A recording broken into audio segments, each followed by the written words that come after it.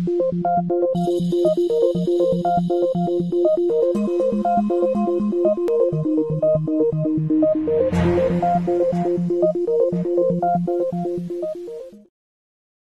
Everyone आज की class में चैप्टर टू यानी कि sexual reproduction in flowering plants को आगे कंटिन्यू करते हुए मैं आपको टॉपिक पॉलन वियाबिलिटी एक्सप्लेन करने जा रही हूँ, ठीक है? कई लोग इसको पॉलिन वयाबिलिटी भी बोलते हैं, कई लोग इसको पॉलिन वियाबिलिटी भी बोलते हैं। खैर इससे इसके स्पेलिंग पे कोई फ़र्क नहीं पड़ना है, ठीक है?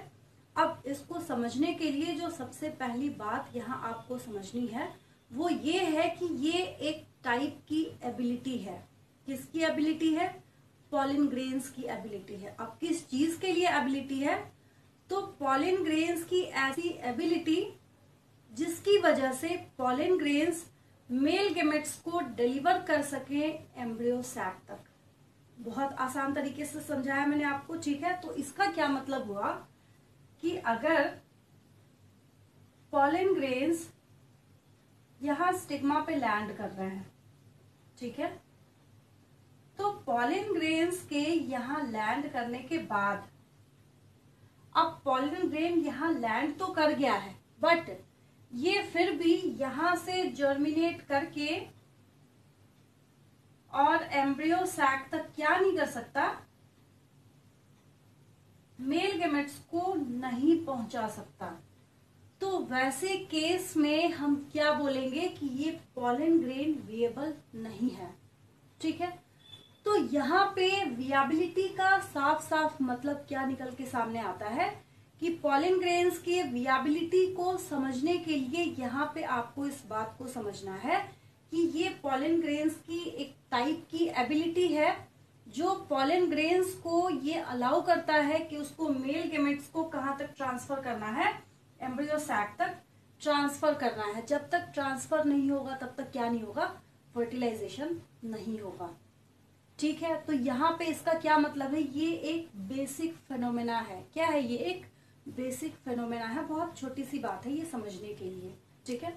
अगर आप इसको क्रिस्टल क्लियर फॉर्म में समझ रहे हैं तो ठीक है देन तो इसको लिखना कैसे है आपको?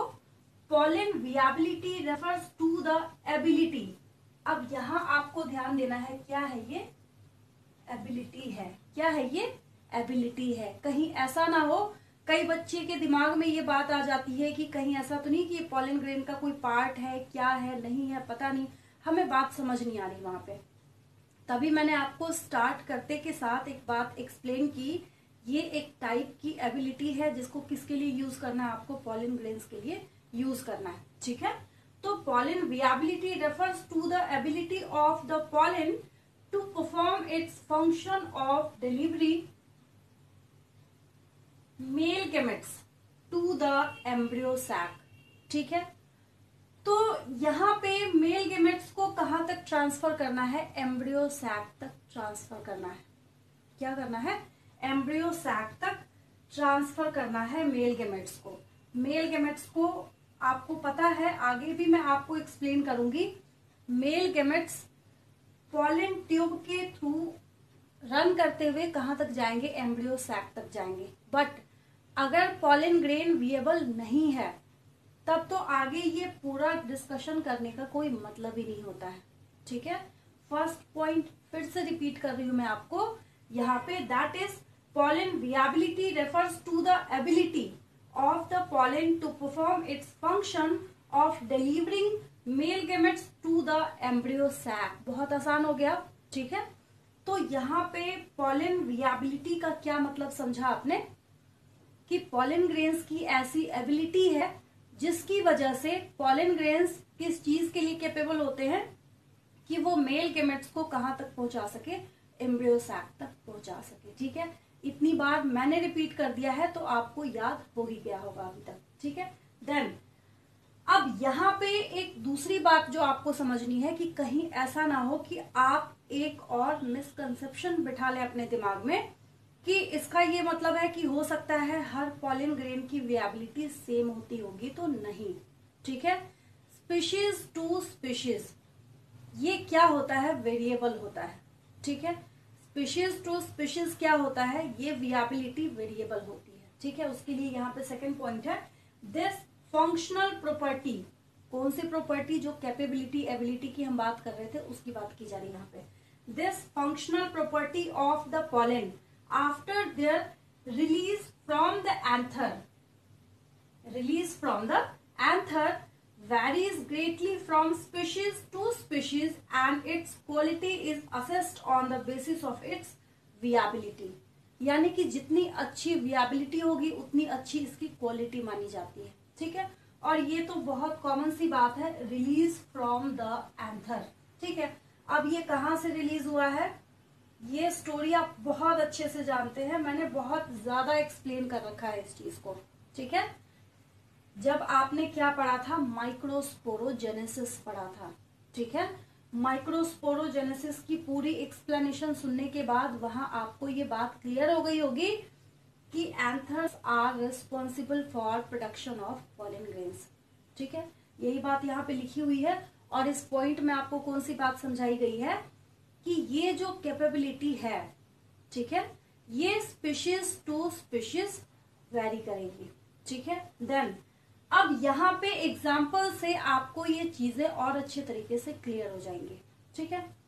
जैसे, कुछ सीरियल्स में अगर हम बात करते हैं, जैसे सबसे कॉमन राइस एंड वीट की बात करते हैं, ठीक है?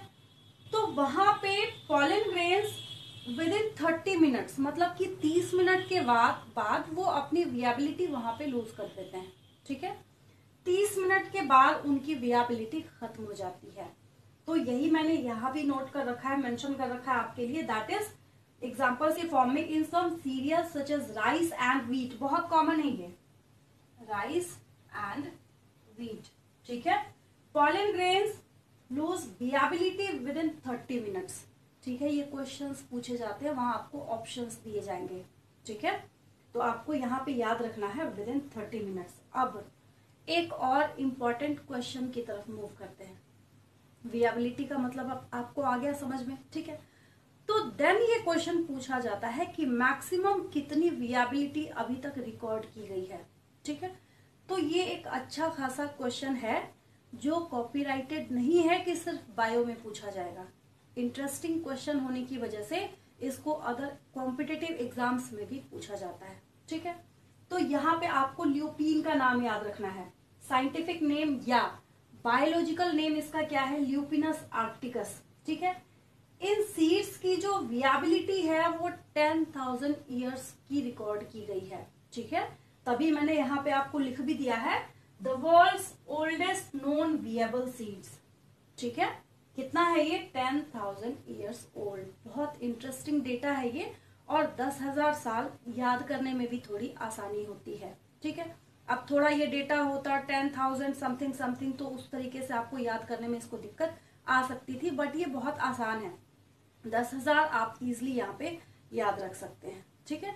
तो ये एक बहुत आसान सा सिंपल सा बट समझने वाला टॉपिक था, जो कि मैंने आपको एक्सप्लेन किया आज की क्लास में बहुत अच्छे तरीके से।